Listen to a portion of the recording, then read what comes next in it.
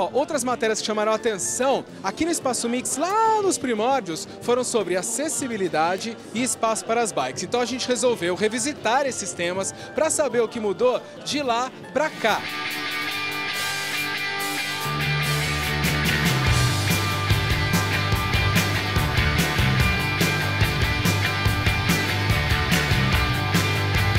Julie, da última vez que o programa te encontrou, que foi lá em 2009, você ocupava um cargo inusitado, que era de primeira guardiã da Avenida Paulista.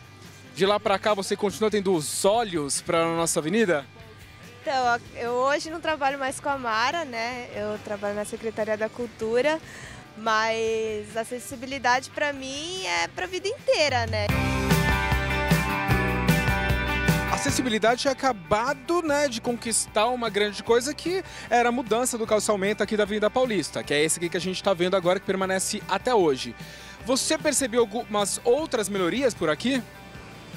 Olha, eu por eu não estar tá mais né, andando todo dia aqui na Paulista, eu estava esperando uma calçada bem pior. A calçada está bem conservada, é, as mudanças que a gente fez na época de bugs que não tinham é, acessibilidade ou fingiam ter, é, hoje elas têm.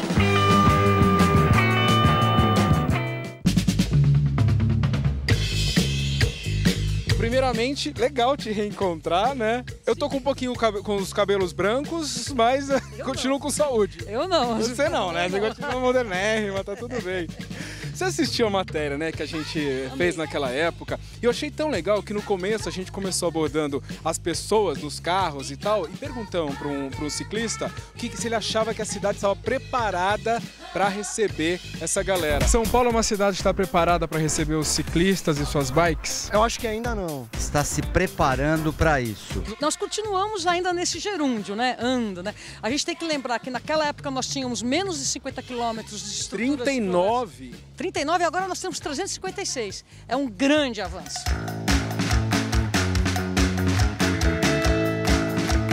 Eu lembro de você falando também que naquela época, assim, a cidade priorizava mais os carros do que o indivíduo.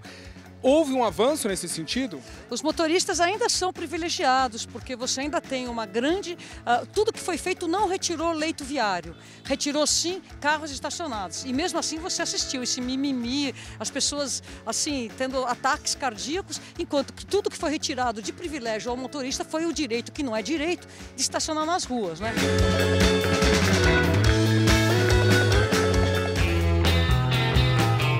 Você acha que hoje seria a grande batalha em andamento?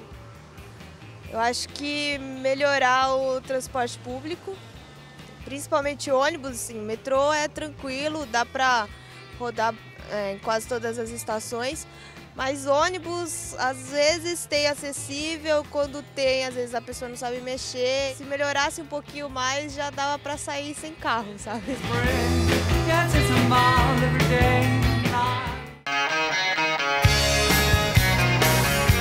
Época a gente fez uma entrevista numa na ciclofaixa que ligava, acho que o Parque do Povo ao Ibirapuera, né? Essa é a primeira, a primeira. ciclofaixa que existiu. Não é verdade?